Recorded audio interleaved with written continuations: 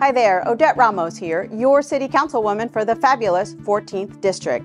Today we are inside of Red Emma's bookstore and coffee house, reminding you that this weekend is the Baltimore Book Festival. I'm so excited to host this festival here in our district.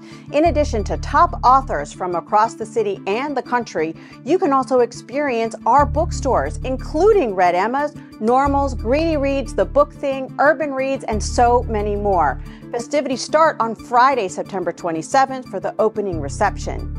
The full festival starts on Saturday, September 28th and will continue till Sunday, September 29th. The festival will take place on Greenmount and 30th, 31st, and 32nd Streets. Thank you so much to Waverly Main Street, Red Emma's, City Lit, the Mayor's Office, and BOPA for bringing this festival back to Baltimore.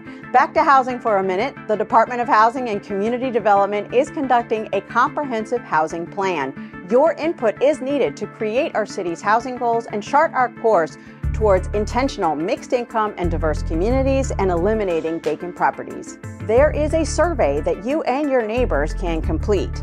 There's also a town hall this evening, September 23rd, in Cherry Hill with a virtual option, and one next week as well.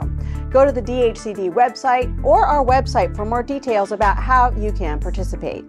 For our housing tip of the week, October 1st is the deadline for the homeowner's property tax credit. Remember, this state credit is important for people earning $60,000 or less to lower your property tax burden, and you have to apply every year. If you need a paper application, please contact our office. DHCD is also hosting four locations for in person assistance with this application this week. Please go to our website and the DHCD website for more details.